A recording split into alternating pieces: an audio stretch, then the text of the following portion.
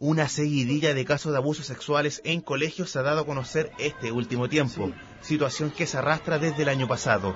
Durante el 2011, la Fiscalía Nacional dio a conocer que se registraron 15.800 delitos de este tipo contra menores, de los cuales el 15% fue al interior de un establecimiento educacional.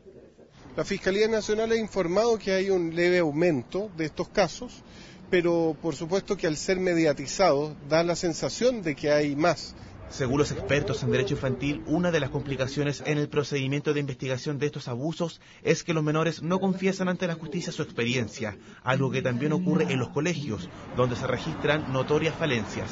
En general, eh, salta a la vista que gente profesional que tiene a su cargo justamente el cuidado de menores no tenga ningún protocolo o mecanismo bajo el bajo la cual eh, canalizar eh, denuncias y pesquisas de probables eh, abusos sexuales al interior de los establecimientos. En tanto, los expertos en psiquiatría infantil recomiendan a los profesores observar y poner atención cuando un niño hable o dibuje acciones relacionadas con sexo.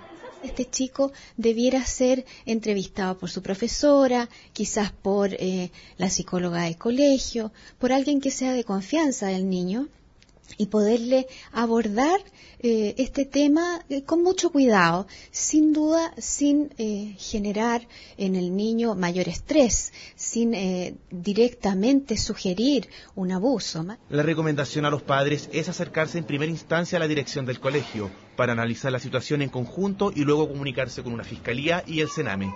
Tomás Cancino, CNN Chile.